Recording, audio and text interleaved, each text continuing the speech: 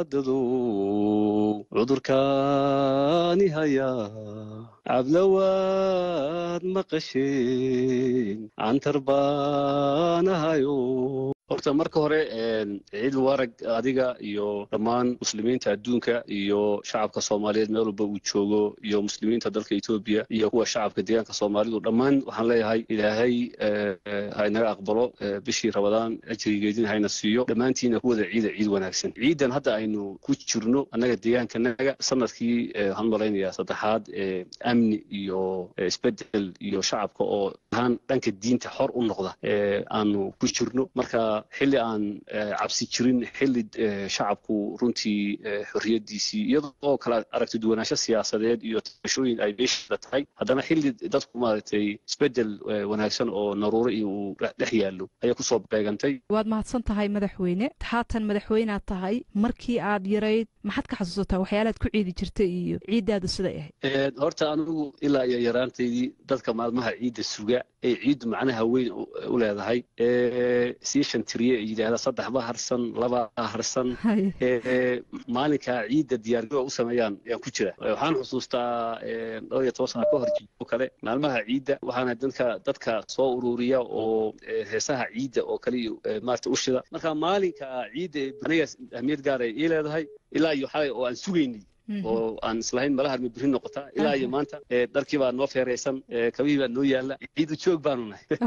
Alla maanta ayaanta iyo ciidda wanaagsan ilaahina siiyey isagaa kuwa baadle ayaan qaadayna ilaa marka. Waa tahay aad baa u mahadsan tahay. Haddaan hadalkaagiiba hadal iga raacay waxaad ii sheegtay inaad isu soo ururin jirtay dadka oo aad ciidda sugi jirtay oo dadka dareenka ah farxadda le ciidda ay u lahayd aad ka mid ahayd. Marka heesihii hadda heestan waa heesta ciidka. Dhanka fanaaniinta ama fanaaniinta soomaalida ah keebaad dhegaysataa heesahooda wax ka xasuusataa ragga iyo gabdhaha? Waxaan aad u dhegaystaa ragga cabdi tahliil warsame allah u naxariisto. Iyo allah u naxariiste maxamed mooge liibaan waxaan odhan karaa heesaha guud ahaan dadka aana ka caajisay heesahooda hobolada aana ka caajisay kuwaasaa ka mid a. Laakiin fanaaniin fara badan oo heeso macmacaan lahoo aan jecela jiraan dhanka dumarka kors muxuu khaliif magool oo ahayd maaragtay phenomena runtii muxuu ahayey muusiqa mucjizo la odhan karo oo ahayd iyo maandeeq dad kuwii hore. Marka anugu aynigii de kontineer lixdaneedii ma ihi laakiin heesaha ooldiga ee horaan jecelahay dhalinyaro fara badan oo cusub oo wanaagsan oo inaan maaragtay aan xaqiro ayn ahayn oo hoballayna way jiraan. Waa tahay cabdi tahliil baan soo qabanaynaa maadaama xoogaa xagga ragga aad u jinjeersatay madaxweyne oo mahadsan tahay cabdi tahliil heesihiisa mideebaad adigu jeceshaa mid dareen gooniga kugula ma jirtaa heesihiisaas markaa dhegeysa anigu hadda heesta aan ugu jecelahay waxaan odhan karaa mana aha siyaasadda hadda aan ku jiro iyo deegaankan aan ka soo jeedo midna laakiin heestiisa uu la yidhaahdo yaa wardheer ku soo bara haye. Maxaad naga heestaasaan runtii ugu jecelahay qaab qaabka ay u dhacdo iyo tilmaamta uu ka bixinayo aagaas iyo aqoonta dhulka aan u leeyahay oo iskeenaysa wegareeya adduunyadan jacayl wabax ma noqonin weglowgama jeede wiilaan dhalay magtiisa maydii haweene saas ahayd waa tahay waa tahay aad baad u mahadsan tahay madaxweyne waxaan ku yar hareerigii wadnaayo yaana intaa dambe ka tegine haye hareerigii wadnaayo iyo aad walwaala aragtida yaa wardheer ku soo bara aada u mahadsan tahay madaxweyne waa iska soo gebagabeynaynaa qaybii dambaan taagannahay hal xaboo gogaalaysiya waa tahay googa. Xeradayadu waa wada ul ul la qaatana male. Taa waan garanaya baan marin xeradayadu waa wada ul. Ul la qaatana male. Waa kuu sheegaya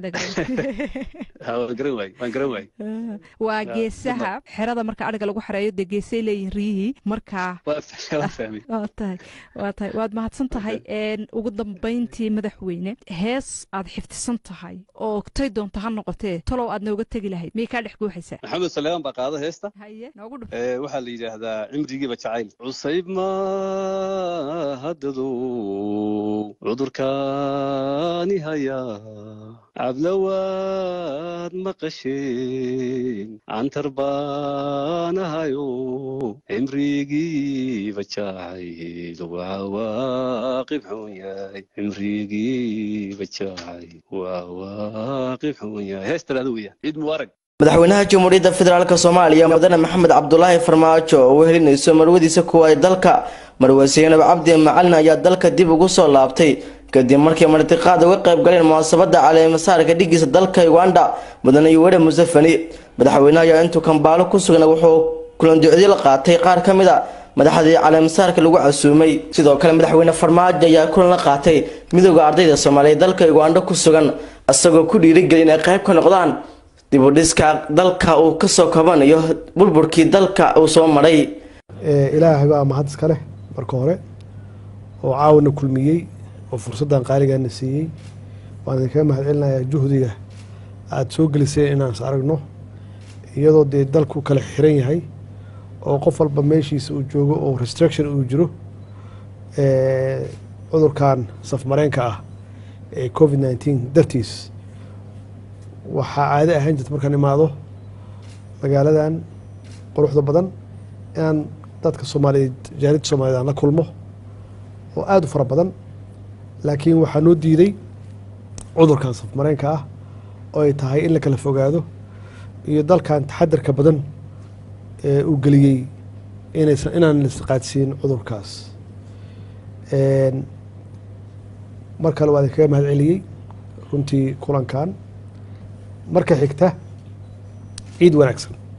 Ciid mubaarag kula caam antum bikhayr ciidan waxaan rajeynayaa ciiddeeda kale inaan ku gaarno ilaahay idankiis nabad iyo caafimaad iyo horumar inaan ku gaarno.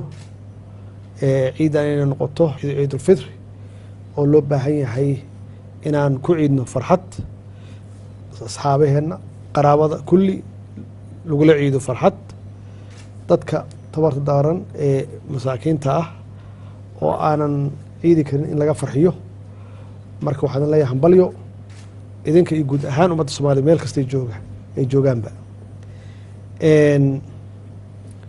Xaqiiqatan waxa weeye inaad is abaabusheen oo guddiyo aada samaysateen oo halkan lixda kun ee ardada soomaaliyeed joogta ay nidaamsan tahay oo jaamacad walbaba ay leedahay guddiyo u gaar ah iyo guddoomiye kadibna aada dalad leedihiin runtii waa wax aada iyo aada u wanaagsan. Macnaheedu waxaa weeye waxaad tihiin organize dad nidaamsan oo abaabulan oo organizeda ayaa tihiin. Wixii wanaagsan waa wanaagsan yihiin laakiin waxaad u abaabulan tihiin hadday wax dhacaan in laiska warqabo oo lais caawiyo oo lais og yahay iyo sida uu guddoomiyaha sheegay in wax dadka u wada wanaagsan oo dan guuda laga shaqeeyo badqabka ardada laga shaqeeyo in la helo scholarships laga shaqeeyo in safaaradda iyo dowladda lala shaqeeyo waxaasoo dhan runtii waa wax wanaagsan. Waxayna ku timid wanaaggiina iyo ilbaxnimadiina maxaa yeele dadku markii ay dad horumarsan yihiin waxaa kow ah inay is abaabulaan oo ay yeeshaan madax. Cid aan madax lahayn haddii ummad jirta ma ah marka waxa weeye waa qeyb ka mid a kala dambeynta iyo nidaamka dadka ay ku wada joogaan. Ayna isku caawiyaan wax alla wixii dhib ay uga hortagaan wax alla wixii wanaag ahna ay maxaan ku rahdaa ku qaybsadaan. Marka runtii taasi waa idinkugu hambalyeynayaa inaad saan u nadaamsantihiin aada u habaysan tihiin marka in laydinku daydo ayaad runtii mudan tihiin